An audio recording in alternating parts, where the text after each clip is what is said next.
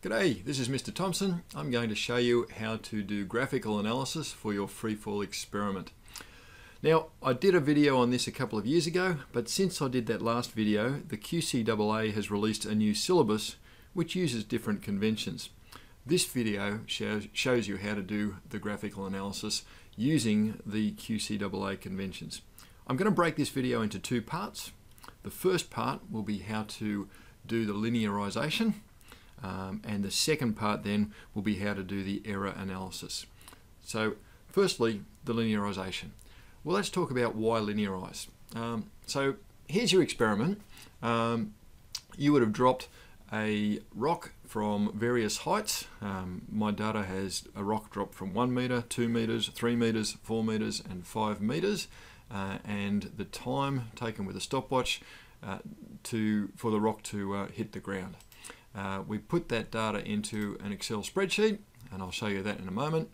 Uh, then the next step is we graph that data, and we get a displacement time graph. Now the displacement time graph, if our data is good, will be parabolic. Now a parabolic graph is quite difficult to analyze. Uh, well, more difficult than a linear graph anyway. So if we can linearize our, our, data, then that's much easier to confirm that the data matches a trend and it's much easier to see outliers and then it can be used to calculate uh, parameters from the graph. For example, in, with this data, we're going to use the slope of the, of the linearized data to calculate g, the acceleration due to gravity. Okay, here's the table we're going to use. Um, I've already set up the, uh, the table uh, with the headings and so forth. Um, I will make this template available to you. Um, have a look in the comments, I'll make a link there.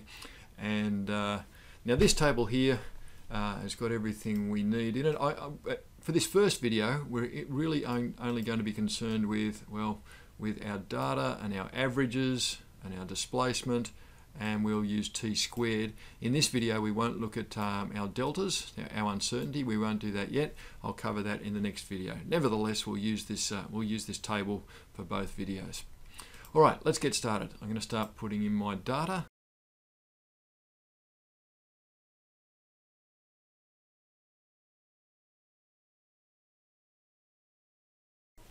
Okay, the first thing I'm going to do is fix up my significant figures.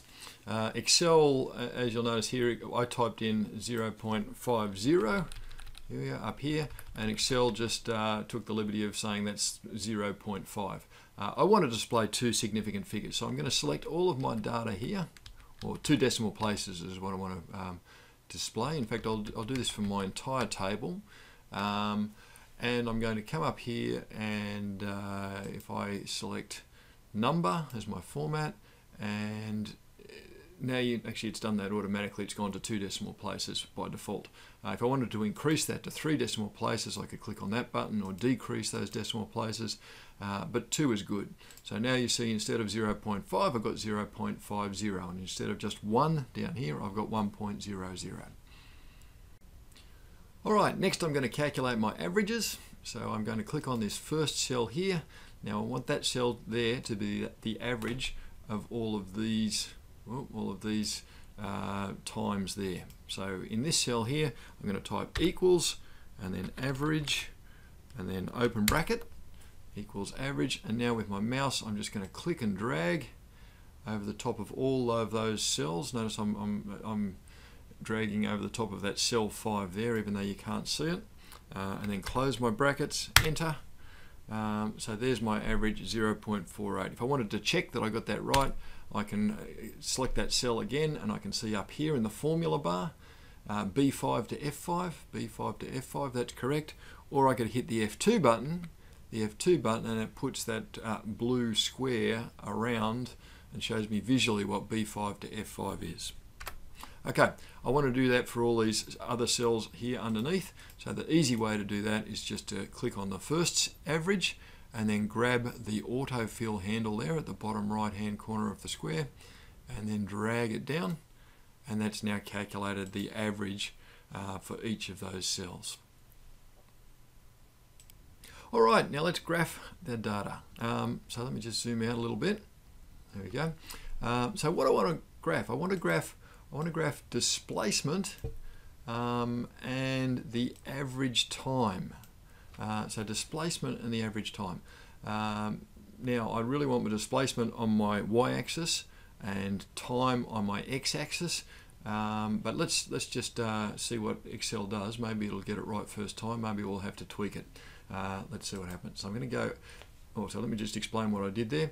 I selected all of those cells there by just clicking and dragging, and then I held down the Control key, down holding down the Control key now, key now, and I selected my average cells there. So that's the they're the they're the two uh, sets of data that I want to graph and I'm going to come up here and I'm going to click on the XY scatter graph. I'm not going to use the line graph, don't use that one. Uh, that'll give you an incorrect graph. Uh, but the XY scatter plot. Now, which one to use? You might think you want one with a line. Don't use the one with a line. It will just connect the dots. You don't want to connect the dots. You want to put a trend line in. That's different. So we're going to choose this scatter plot here uh, that doesn't have any lines on it. We'll put a line in later, but we'll, we'll choose the line ourselves. Okay, and there's our data. So let's have a look and see what we've got here. Uh, we have got, uh, let's see, it's put, uh, it's put displacement on the x-axis and it's put uh, time on the y-axis. So we want it the other way around. So we'll have to fix that. Okay, so I'm going to click on my chart here. I'm going to right click on my chart, not on, uh, not on a grid or a dot or a title, just in a blank space on the chart. So I'll right click there and I'm going to go to select data. Select data. Now, don't use this switch row column button. That doesn't do what you think it's going to do. It doesn't switch your axes. Um, to switch our axes, we need to click on series 1 um, and we need to edit series 1. So if I do that, uh, now there's our x values and there's our y values and it's got them the wrong way around. So what I'm going to do is I'm going to click on this little button here for my x values and I'm going to change my x values. So at the moment the x values are displacement. I want the x values to be the average time. Okay, so now click on this little button here again. Now my y values, I'm going to do the same. Click over here and my y values. Now my Excel seems to have some sort of bug and it doesn't display it, but it is still working. Hopefully yours is displaying what you've selected.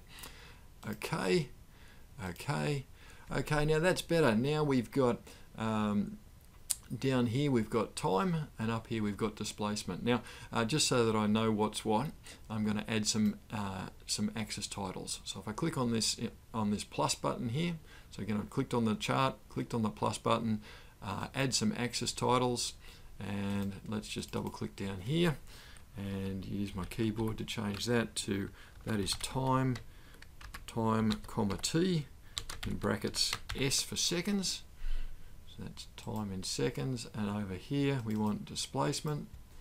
So let me just oh, fix that. Displacement uh, S and that's in what's that in? Meters. Okay. And while we're at it let's fix the chart title. Uh, what are we going to call it? We'll call it time displacement time graph. Displacement time graph of free fall data. How's that? Now it's a heading, so I probably should use some capitals. Let's do that. All right, displacement time graph of free fall data. Now, um, that oh, I guess you could say that looks a bit like a that looks like a straight line, uh, but actually that should be a parabola. Um, and, and, I'll show you why linearization is so important because it's very hard to tell by looking at that is, is, that a, is that a linear trend or is it a parabolic trend? All right, so how do we tell whether this is linear data or parabolic data? Uh, what we're going to do is we're going to go back to the equations and see what the equations say. So if we look at our kinematics equation, let's look at, uh, let's pick this one. S equals ut plus half at squared. So S is our displacement. Um, u is our initial velocity, which is zero because we're, we're dropping the rock, we're not throwing it. Uh, so it starts with a velocity of zero. Uh, t is time and a is acceleration due to gravity. So we'll substitute, we'll substitute uh, zero for the initial velocity and g, acceleration due to gravity, for the acceleration. Uh, we've called down positive, so all so so s and uh, g are both positive, so we don't have to worry about any negatives. And we end up with s equals half gt squared. So if we put s on our y-axis and t on our x-axis, as we have done, um, we see that uh, because of that t squared, we should get a parabolic, we should get parabolic data. Okay, so let's put a parabolic trend line in. So if I right click on my graph um, and click add a trend line, there we go, it's put in a linear trend line, a straight line, uh, but we want a parabolic trend line. So I'm going to double click on the trend line there and it'll open up this uh, window over here. Make sure this right hand icon, trendline options is clicked. We'll come down here. Now a parabola is a polynomial, polynomial, a second order polynomial because it has uh, to the power of 2 in it.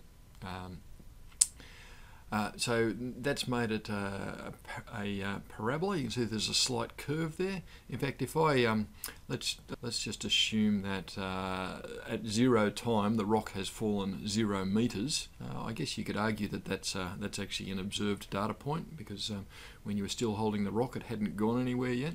So I'm going to set the intercept to zero. So that, that, that means the line will go through zero zero. And the other thing I'm going to do is I'm going to forecast I'm going to extend that trend line back. So maybe back to, uh, let's do 0.45. There we go, that's pretty close. I could maybe go a little bit further than that. 0.48, and I do that. Okay, so you can see that's taken my trend line back to pretty much to zero. And you can see now that that looks like a parabola. Uh, oh, now it's done some weird stuff to my axis, so I'm just going to fix that. I'm going to click on my uh, numbers here on my y-axis, and again click on this right icon over here and I want to set my minimum back to zero. I don't want I don't need negative numbers in there. There we go. So that's uh, that is a good parabolic graph. Okay so we've plotted S versus T and that's given us a parabolic graph which is which is what we expected um, let's linearize the data um, so to linearize the data, uh, we need to make our graph look like it's got the form it needs to have the form y equals mx plus c. So that's the graph for a linear um, for a linear graph or a linear equation uh, where m and c are constants and y and x are our variables that we plot on the y and the x axis. Um, so if we rewrite our equation, s equals half gt squared, if we write that as s equals half gt squared plus 0, and we plot, instead of plotting on, on the y-axis, we use uh, s, which is what we did up here, but on the x-axis, instead of plotting t, like we've done here, let's plot t squared. So what we're doing is we're using t squared instead of x. And our plus c is 0, so our y-intercept is 0. So, so the trick here is that we're, we're substituting s for y, which we did last time, but we're substituting t squared for x. In other words, we're, putting, we're going to calculate t squared and put t squared on the x-axis. And what that should give us is that should give us a linear graph where the slope, m, the, sl the slope of the, uh, of the graph should be half g. So by then looking at the slope, we then, will then be able to calculate g. So let's do that. Okay, so my table's already set up. Um, uh, what I want to do is I want to put t squared in this column. Um, so let's do that. Equals, well that's my time, that's my average time there, equals that. Uh, caret 2, that means squared to the power of 2. Enter. Okay, so that's t squared and I'm going to grab my uh, autofill handle and drag that all the way down to the bottom and then my averages. Now that's too many decimal places. Let's just fix that. Uh, let's reduce the number of decimal places. Let's go back to about there. Um, and oh, the other thing that it's done, notice here it's um, it's uh, mucked up my border. So I'm just going to, again, I'm going to put an outside border around there. I'll select all those cells and put a outside, a thick outside border. Okay. Um, all right. Now what we want to do is we want to graph, we'll do a different graph. This time we'll graph displacement S versus t squared. Uh, so let's do that again. Um, so I'm going to insert, actually first I'm going to select my uh, select my displacement column, then I'm going to hold down control, uh, instead of selecting my average I'm going to select t squared instead. Okay, and I'm going to insert my graph. There we go. Uh, and once again it's got the axes wrong so let me just fix those I'm going to right click and uh, select data uh, edit my series and there we go there's my x my x axis I want t squared on my x axis there and on my y axis on my y axis I want my displacement. There okay. And go okay. There we go. Okay. Um, and let me put my, now I'm going to put uh, linearized data, linearized data, um, displacement versus time squared. Okay, and just to tidy this up a little bit, I'm going to add some axis titles. There's my time squared. Uh, t or t squared. I'll fix that in a second. And that's in seconds squared. My units now are not seconds anymore, they're seconds squared. So let me just make that 2. Uh, if I come back up to home and font, make that to a superscript. So it's squared. And same with my squared there. I go font, uh, superscript. There you go. So time squared, t squared in, in seconds squared. And over here now I've got, um, what do I have? Displacement, displacement, uh, displacement S, and that's in meters still. Okay. So that now should be, well I'm hoping now it should be linear data. So let's add a trend line, let's add a linear trend line and see. So plus, uh, add a trend line, it puts in a linear trend line by default. Okay, now I'm going to double click on my trend line and I'm going to, let's see what I'm going to do. Click on this right hand icon here. Um, now I'm going to I'm going to display the equation on the chart. There's my equation. y equals 5.0925x minus 0.1165. So let's recall that we plotted s versus t squared.